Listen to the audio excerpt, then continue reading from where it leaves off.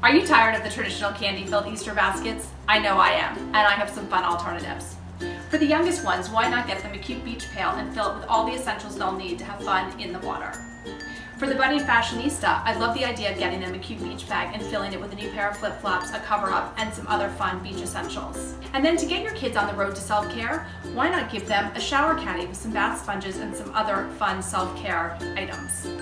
And then for the sports lovers, this is a great time to replenish their balls and games so that you know that they'll get outside and play this summer. I promise you, they won't even miss the candy.